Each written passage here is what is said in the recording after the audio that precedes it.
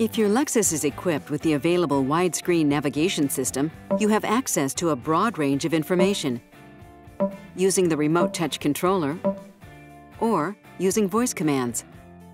Please say a command. An easy-to-follow menu system will lead you through the voice command process. To access the navigation system, press the Map Voice button on the controller. In the top left of the screen, the letter or letters indicate which direction your vehicle is headed. Selecting the compass, you can change the map's orientation between three settings. The first is the two-dimensional north-up view that sets the screen with north being to the top of the screen. The second is a two-dimensional heading-up view that sets the screen with your current position moving toward the top of the screen. And the third is a 3D view. In this view, it'll be heading up and show buildings in 3D if zoomed in far enough. Use the arrow buttons on the controller to zoom in and out.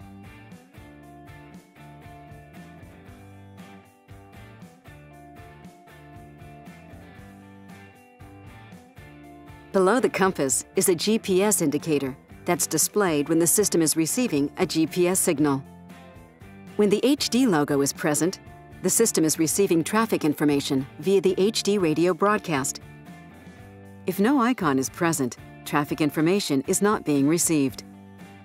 When traffic is turned on, color-coded lines will appear on the map. Red means traffic is slow. Yellow, the traffic is moving at a moderate speed. And green means it's moving at or near the posted speed. Icons will appear when accidents or other obstacles are recognized. The Options button allows you to customize the system. Map Mode provides six different configurations that you can choose from to display the map's information. Shaded icons are not currently available.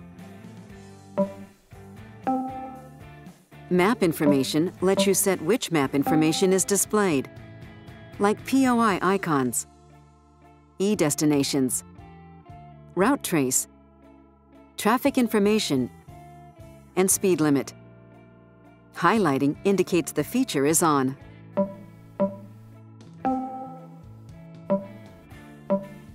Map data will display the map version, update map, map coverage, and legal information. Edit Route allows you to edit your route. Pause Guidance